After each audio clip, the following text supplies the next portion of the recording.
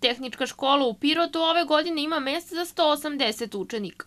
Tačnije, bit će upisano po 30 učenika u šest odeljenja, koji će biti razvrstani u tri područje rada, mašinski, saobraćeni i elektrotehnički. Iz područja rada elektrotehnike, smerove elektrotehničar za informacijne tehnologije, elektrotehničar za elektroniku na vozilima, tehničar mehatronike, što se tiče područja rada mašinstva, tehničar za kompjutersko upravljanje CNC mašina koji će od ove godine biti realizovan po dualnom modelu obrazovanja.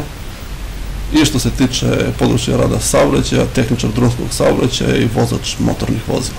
Dualno obrazovanje e, znači da, da će jedan manji deo praktične nastave biti realizovan u firmama koje su sklopile ugovor sa tehničkom školom. Znači, drugi deo praktične nastave biće realizovan u tehničkoj školi kao i teoretska nastava.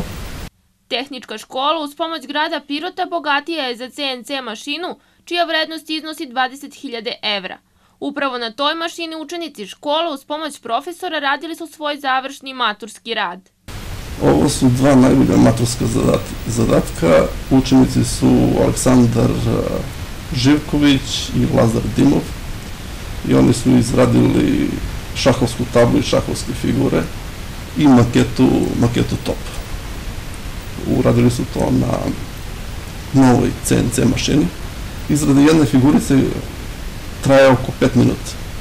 Međutim, iza toga je priprema. Svaku figuricu oni na računaru modeliraju. Crtaju, zatim se generiše taj G kod koji se neznatno menja, zatim ubacuju CNC mašinu i kreće, kreće izrada. Učenici tehničke škole pokazuju izuzetne uspehe na republičkim takmičenjima, kako iz stručnih predmeta, tako iz opšte obrazovnih, što znači da u proseku svake godine đaci škole osvoje između 10 i 20 republičkih nagrada.